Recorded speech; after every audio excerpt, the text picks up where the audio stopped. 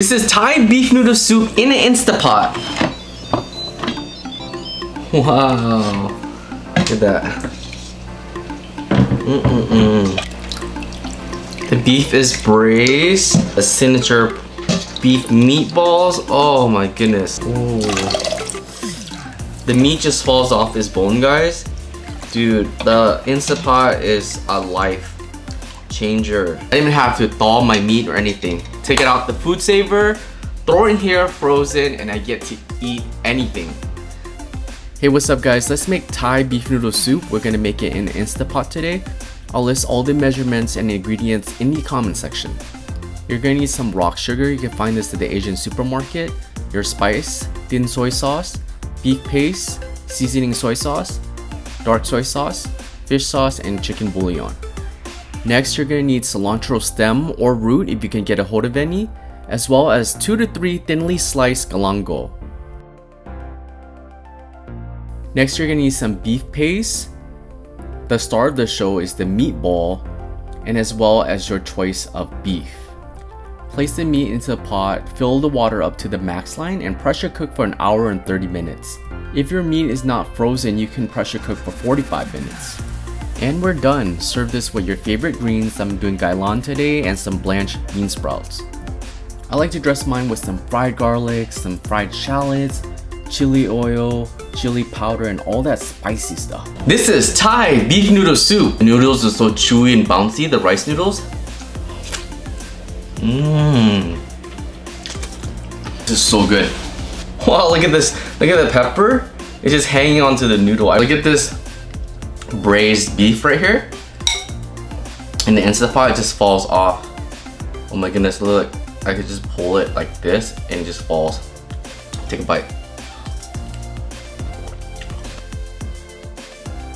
And drink the broth. It's so red. Woo! Spicy, but I love it. I put so much pepper. I don't know if you guys see that, but look at that. All the peppers are just hanging on to each strand of the noodle. And for me, everybody always look at my bowl crazy. Like, oh my god, why do you eat like that? I know, I like to eat spicy. I'm cuckoo, loco, chinito loco. Woo!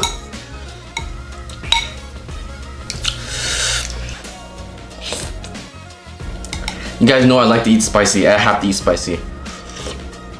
Ooh! I like eating so spicy of this, guys. Ooh, look how red this is. Look at the beef meatball. Classic. Look at that. In the Instapot, it just falls off his bone. Look at this. Wow. Beef cross rib and short ribs. You can use any kind of cut of meat you want. Beef roast.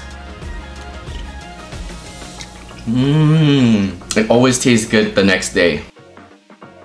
It's full of flavor. I have fish sauce in there, thin soy sauce, thick soy sauce, chicken bouillon, the cilantro stems. You can, you want it to taste better, get cilantro root if you can. It has the seasoning soy sauce, dark soy sauce, light soy sauce, rock sugar, and the five spice. Star anise, cinnamon sticks, cardamom, fennel, a little bit everything. Each of this noodle strand has so much spice in it.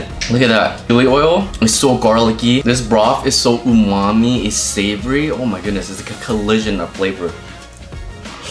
You can have this with any kind of greens. It's so good. It has cilantro, green onion. Mmm. Oh my god.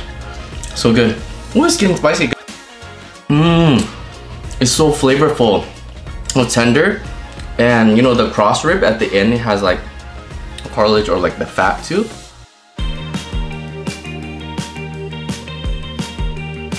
This just screams family meal. When I make this, it's just I just picture like events and hanging out with family, everybody grabbing a bowl and talking about how they season it. That's what I did growing up. And as an adult, people always like look at each other's bowl and see how they dress it. Mmm. Mmm. Oh, look how red that is. Wow, look at that. Okay guys, I can't do it no more. getting too spicy. Wanna learn how to make this, I'll list all the measurements in the description. Then do whatever, use what you have at home to make it. But this is the Thai beef noodle, it's so good. You, you always can go, you're curious, you never had it because of the seasoning. That goes into it, go try it at the Thai restaurant. I'll see you guys next time.